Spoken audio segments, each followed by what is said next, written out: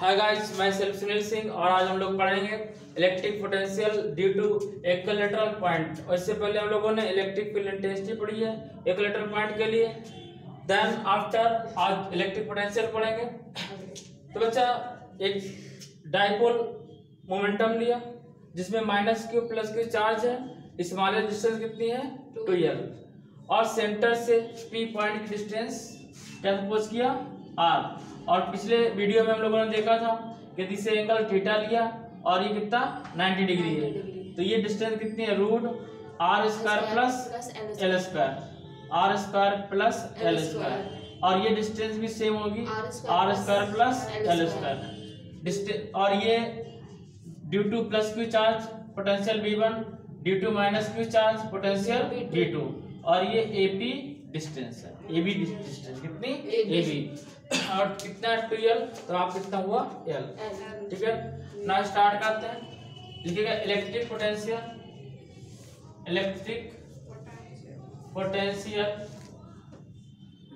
at P point P point due to plus Q charge plus Q charge v1 one equal one upon four pi epsilon naught और q upon distance bp यहाँ पर square नहीं होता है single distance क्या रहेगी? Bp और bp की वैल्यू देख रहे हैं हम लोग root r square plus l square now V one equal to one upon four pi silent नॉट q upon root r square plus l square equation first और ये डायरेक्शन डायरेक्शन शो नहीं करता है तो इसलिए यहाँ पर कास्ट थीटा नहीं लिया जाता है। जब इलेक्ट्रिक इंटेंसिटी लेते हैं तो उसमें डायरेक्शन शो करता है, इसलिए वहाँ पर कास्ट सपोज़ करते हैं। क्या सपोज़ करते हैं? कास्ट सपोज़ करते हैं। Now second electric potential electric potential at P point P point due to minus Q charge. Due to minus Q charge. तो बी टू इक्वल कितना आएगा? V two equal one by four pi epsilon naught और minus Q upon distance A P आएगा। और ये minus बाहर ले लेंगे तो V T equal minus one by four pi epsilon naught Q upon और ए पी की जो डिस्टेंस है root r square plus l square total potential find करेंगे।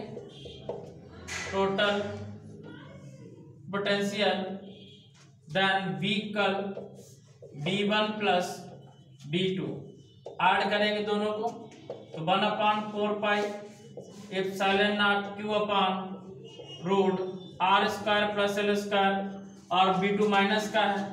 One upon four pi epsilon naught q by root r square plus l square और minus दोनों equal है तो कितना आएगा? Zero means potential at a point on the axial of the point देखिए बच्चा ध्यान से समझिएगा। डाइपोल लिया। और डाइपोल क्या ये भी? डिस्टेंस कितना टू यल इसका हाफ़ यल और इधर हाफ़ यल और यहाँ से ओ से सेंटर बी पी के बीच की डिस्टेंस आर होती है। तो पाइथागोरस थ्योरम यूज़ किया? ओ पी बी में। ओ पी बी में। तो root r square plus l square दोनों का सेम सेम डिस्टेंस रहेगी क्योंकि इसको हाफ़ किया ये आर है कॉमन है दोनों में तो डिस्टेंस कैसे रहेगी? सेम रहेगी? तो इधर भी रहेगा r square plus l square और प्लस क्यू के कारण पोटेंशियल बी वन और माइनस क्यू के कारण पोटेंशियल वी टू और टोटल पोटेंशियल क्या लिया? बी लिया। जब इलेक्ट्रिक फ़ील्ड इंटेंसिटी फाइंड किए थे तो यहाँ पर ई वन कास्ट थीटा लिए थे ई टू कास्ट थीटा लिए थे। बट यहाँ पर कास्ट थीटा क्यों नहीं मेजर कर रहे हैं? क्योंकि ये कैसा कैसा है? स्केलर क्वांटिटी कैसा है? Scalar quantity this is the scalar quantity अदिश राशि। कैसा है? अदिश राशि। ठीक है ना? जब अदिश राशि है तो आप समझेगा तो इसमें कास्ट थीटा यूज़ नहीं करेंगे। क्या यूज़ नहीं करेंगे। कास्ट थीटा यानी डायरेक्शन नहीं रहेगा। बस हमारे पास इतना है। अब यहाँ पे electric potential at P point plus q charge तो V one equal one upon four pi epsilon naught q upon B P B P distance होती है। पोटेंशियल का ये सेम फार्मूला है। अब बीपी की वैल्यू कितना है? Root r square plus l square फटा कर दिए। अब सेकेंड लिया माइनस क्यू चार्ज जब माइनस क्यू चार्ज लेंगे बी टू लेंगे one upon four pi minus q upon A P और A P distance root r square plus l square. दोनों को ऐड कर दिया V is equal to V one plus V two और b is equal to one upon four pi epsilon naught q upon root r square plus l square minus one upon four pi epsilon naught q upon root r square plus l square और दोनों value क्या है? Same है। और जब same है तो zero जाएगा। कितना आएगा? ज़ीरो कितना आंसर आया ज़ीरो ज़ीरो वोल्ट किस पे? एक कोलेटरल पॉइंट पे। अभी नहीं? हो गया हो गया। नहीं और स्पेस भर जाता है। इधर देखिएगा हम लोग फाइंड करना काइनेटिक एनर्जी पर charge particle accelerated through some potential difference बच्चा इधर देखिएगा अभी तक हम लोग ये पढ़ रहे थे ये प्लेट क्यू है प्लेट ए है इस पर चार्ज प्लस क्यू है और प्लेट बी है इस पर चार्ज कितना है? माइनस क्यू शो कर दिया हमने दिखा दिया इस पे कि प्लस क्यू और माइनस क्यू चार्ज है। और इसमें इलेक्ट्रिक फ़ील्ड ई एक समान रूप से यूनिफॉर्मली पास हो रही है। इन इन होल फिगर ठीक है ना? प्लेट ए और बी के बीच में इलेक्ट्रिक फ़ील्ड कितना है? यू है ई है, और कैसा है? यूनिफॉर्मली है। अभी तक हम लोग पढ़ रहे थे, वो स्टैटिक चार्ज पढ़ रहे थे कि चार्ज रुका हुआ था? स्टॉपिंग चार्ज था। अब इसमें क्या किया? कि चार्ज पहले किस पे था? रेस्ट पे था। ए प्लेट था कैसे था? रेस्ट पे था, रुका हुआ था। इसके बाद में इसको क्या करा दिया? इसको मूव करा दिया। जैसे चार्ज मूव होके कहाँ पहुँचा? बी प्लेट पे। तो इस पे जब और हम लोग पढ़े कि जब कोई पार्टिकल मूव होता है तो वर्क इक्वल क्या होता है? फोर्स इंटू डिस्प्लेसमेंट यदि चार्ज रुका हुआ है डिस्प्लेसमेंट नहीं हो रहा है तो वर्क क्या होता है? ज़ीरो लेकिन यहाँ पर क्या है कि चार्ज को हमने एक्सेलरेट कराया। क्या कराया? चार्ज को एक्सेलरेट कराया। कह रहा कि काइनेटिक एनर्जी पर चार्ज पार्टिकल एक्सेलरेटेड एक्सेलरेट का मतलब है कि चार्ज को हमने मूव करा दिया।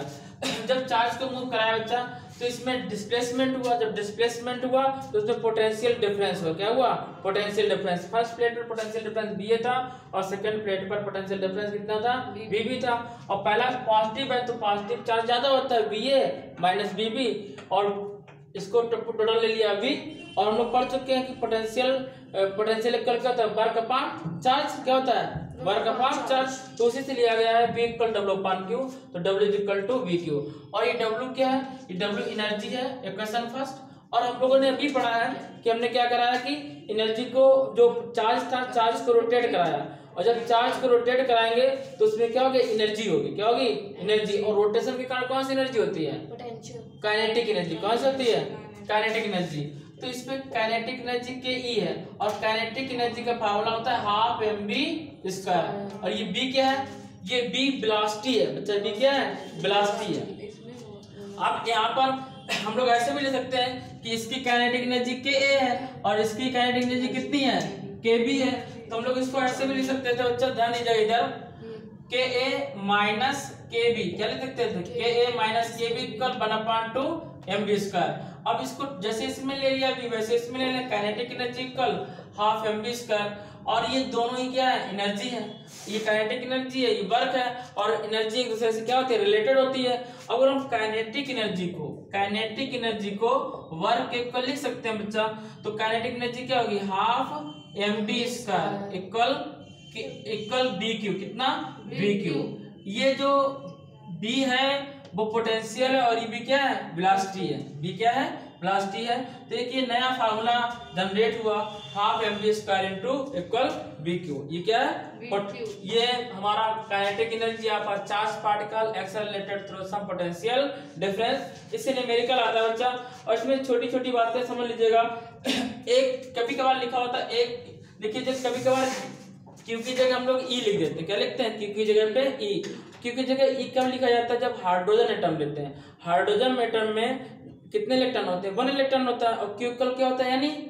क्यू कल क्या होता है? यानी तो नंबर ऑफ़ इलेक्ट्रॉन होता है तो यानी ई तो नंबर ऑफ़ इलेक्ट्रॉन वन है तो बी ई लेते हैं। क्या लेते हैं? बी ई और यहाँ पर ध्यान दीजिएगा वन इलेक्ट्रिक वोल्ट की जो वैल्यू होती है 1.6 point six into ten to power minus nineteen coulomb sorry one into ten to power minus one point six into ten to power minus nineteen joule कितना? One point six into ten to minus 19 joule. ये one electric volt की energy होती है, समझेगा? कभी कभार जैसे हम लोग काइनेटिक एनर्जी निकाला, जूल में आंसर आया। और वो आपसे बोल देता है कि हमें इसमें आ, इसको में इलेक्ट्रिक वोल्ट में लिखना है। तो इलेक्ट्रिक वोल्ट में लिखना है तो क्या करेंगे? 1.6 पॉइंट सिक्स टेन नाइनटीन से इससे डिवाइड करा देंगे। क्या करा देंगे? डिवाइड करा देंगे।